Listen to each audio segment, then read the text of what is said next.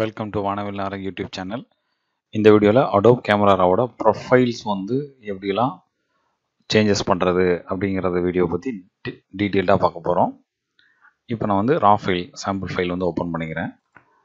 இங்கே கொஞ்சம் ரா ஃபைல்ஸ் வந்து வேறு வேறு கேமராவில் எடுத்த வேறு வேறு டிஃப்ரெண்ட் டிஃப்ரெண்ட் டைப் ஆஃப் லொக்கேஷனில் இருக்கக்கூடிய படங்களை வந்து நான் இங்கே எடுத்திருக்கேன்.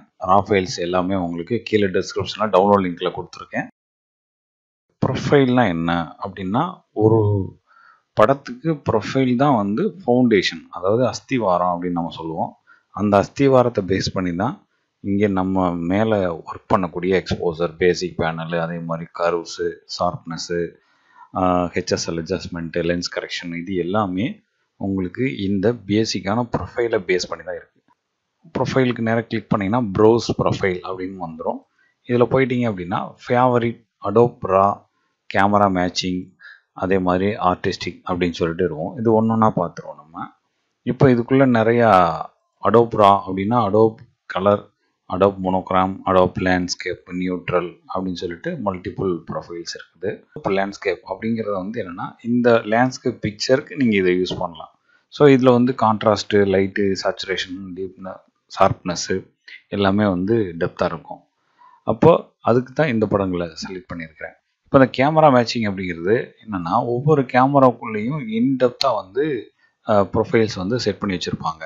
இப்போ நம்ம இங்கே உதாரணத்துக்கு ஒரு சோனி கேமரா கிளிக் பண்ணுறோம் நீங்கள் இந்த கேமரா மேட்சிங் மட்டும் கவனிங்க. இங்கே கிளியர் அப்படிங்கிற ஒரு ப்ரொஃபைல் இருக்குது டீப் அப்படிங்கிற ப்ரொஃபைல் இருக்குது லைட் அப்படின்னு ஒரு ப்ரொஃபைல் இருக்குது இந்த லைட்டு கொடுத்தோன்னே படமே பார்த்திங்கன்னா ரொம்ப பிரைட்டாக பார்க்குறதுக்கே ஒரு மாதிரி கண்ணை உறுத்தாமல் அவ்வளோ அழகாக இருக்குது இப்போ கிளியர் கொடுத்தீங்கன்னா கொஞ்சம் படம் டார்க்காக இருக்குது கான்ட்ராஸ்டாக இருக்குது சேச்சுரேஷன் அதிகமாக இருக்குது அதே மாதிரி டீப் கொடுத்தீங்கன்னா இது ஒரு டைப்பாக இருக்குது இப்போ ஸ்டாண்டர்ட் கொடுத்தீங்கன்னா ஒரு மாதிரி இருக்கும் விவிட் கொடுத்தீங்கன்னா ரொம்ப சேச்சுரேஷனாக இருக்குது இது அப்படியே நான் என்ன பண்ணுறேன்னா இங்கே ஒரு போர்ட்ரேட் படம் எடுக்கிறேன்.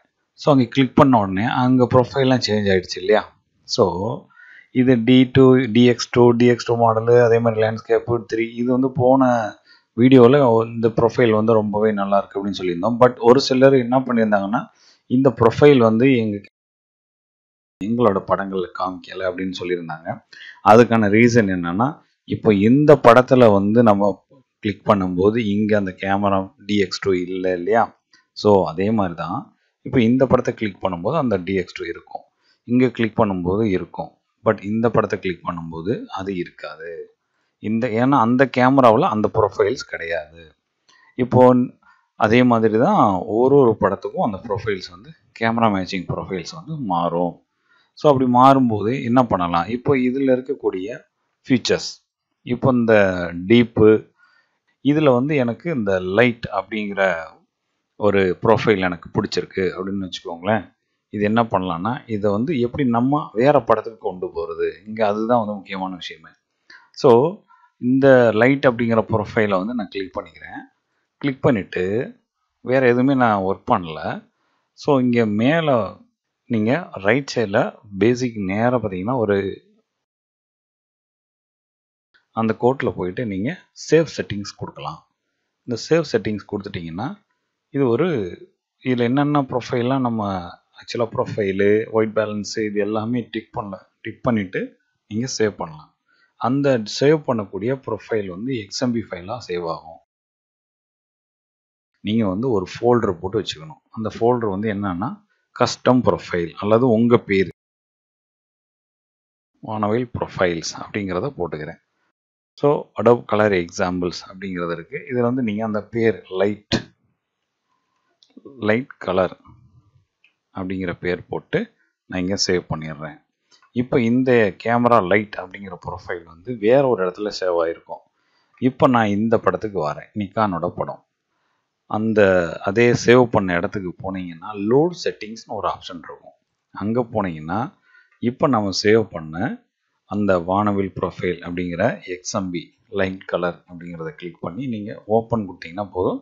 டக்கு நீங்கள் வந்து செட் ஆகிடும் profile not installed rendering is இன்கரெக்ட்னு சொல்லுவோம். இன்டிமேஷன் தான் சொல்லுது. பட் வந்து நமக்கு வந்து அது ஒரு பெரிய இஷ்யூவாக இருக்காது. அதுக்கப்புறம் நம்ம வந்து ஃபைனலாக கலர் பண்ணிவிட்டு அடுத்தடுத்த ஸ்டேஜுக்கு நம்ம போயிடலாம். இப்படி நம்ம டிஎக்ஸ் டூவையும் இதே மாதிரி சேவ் பண்ணலாம். இப்போது இந்த நிக்கானில் இருக்கக்கூடிய டிஎக்ஸ் டூ அதாவது டிஎக்ஸ் டூ மோடு த்ரீ இது வந்து போன வீடியோவில் நான் சொல்லியிருந்தேன். இந்த மோடை எடுத்துக்கோங்க. இந்த மோடு கிளிக் பண்ணிவிட்டு நீங்கள் க்ளோஸ் பண்ணிக்கோங்க. கேமரா டிஎக்ஸ் டூ மோடு இதில் எது வேணாலும் ரைட் தான். இதில் இது மட்டும் இதை தான் நீங்கள் பண்ணணும் அவசியம் இல்லை. கேமரா பொறுத்த வரைக்கும் நீங்கள் என்ன பண்ணாலும் நல்லா தான் இருக்கும். அதில் வந்து எந்த விதமான மாற்று கருத்தும் கிடையாது. இப்போ அந்த டிஎக்ஸ் டூ மோடை விட லேண்ட்ஸ்கேப் மோடு இந்த படத்துக்கு ரொம்பவே நல்லா ஸோ நீங்கள் அதை யூஸ் பண்ணாலும் பண்ணிக்கலாம். இது யூஸ் பண்ணாலும் பண்ணிக்கலாம். இப்போ நான் அந்த டிஎக்ஸ் டூ மோடை வந்து கிளிக் பண்ணிக்கிறேன். அதே சேம் மெத்தடில் செட்டிங்ஸில் போயிட்டு சேவ் செட்டிங்ஸ் அதை நான் கொடுத்துட்றேன். இதை சேவ் பண்ணுறேன் சேம் லொக்கேஷனில் என்னோடய வானவில் ப்ரொஃபைலை சேவ் பண்ணுறேன் இது இது சேவ் பண்ணிடுறேன்.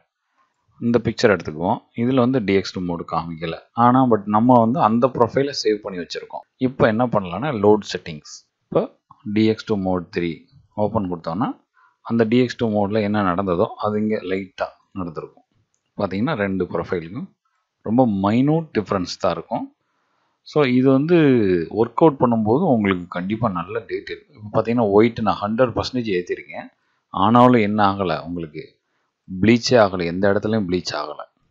எந்த இடத்துலையும் ப்ளீச் ஆகலை.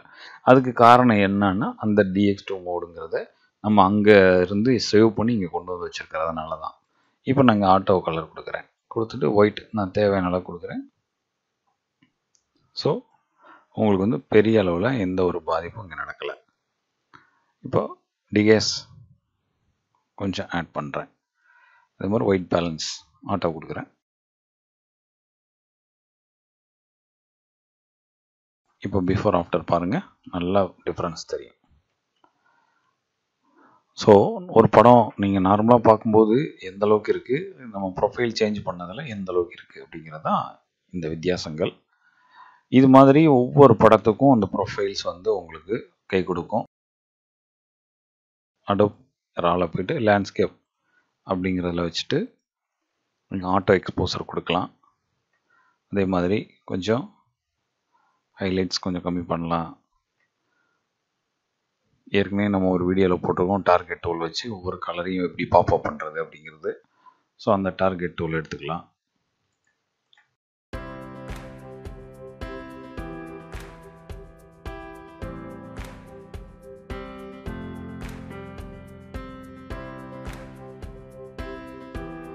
ஸோ இது வந்து ஒரு பேசிக்காக சிம்பிளாக ஒரு செட்டப் பண்ணியிருக்கோம். ஸோ இந்த மாதிரி ஒர்க் பண்ணிக்கலாம். இது ஒர்க் பண்ணி முடிச்சுட்டு இதுக்கப்புறம் நீங்கள் சேவஸ் எந்தெந்த படங்களை நீங்கள் வந்து சேவஸ் பண்ணுறீங்களோ அதை சேவஸ் பண்ணிக்கலாம்.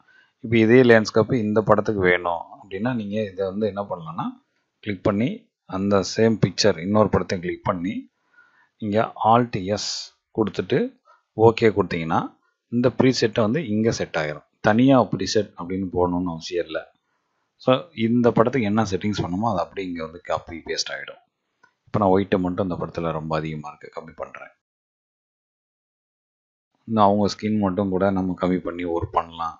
நம்ம நிறைய விஷயங்கள் ஆல்ட்ரேஷன் பண்ணலாம். அது நம்ம ஃபியூச்சரில் ஒரு ஒரு படமாக பார்ப்போம்.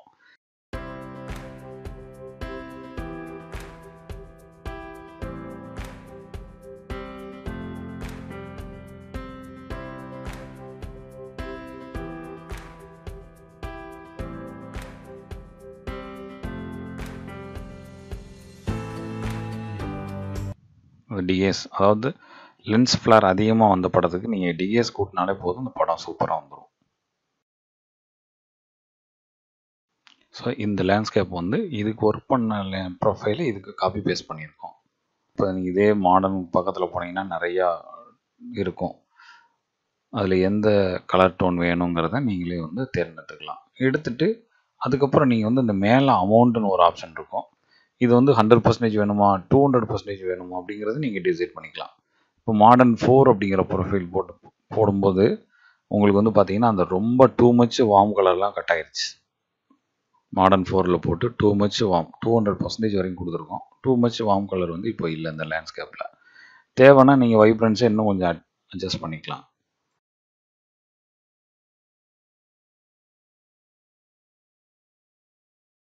ஸோ இதுதான் ப்ரொஃபைல் இதுக்கப்புறம் நீங்கள் டன் கொடுத்துட்டிங்கன்னா கண்ட்ரோல் ஏ கொடுத்து உங்கள் படங்களை ஃபுல்லாக டன் கொடுத்துட்டிங்கன்னா உங்கள் படங்கள் வந்து இங்கே சேவ் ஆகிடும் டன் கொடுத்துட்டிங்கன்னா போதும்.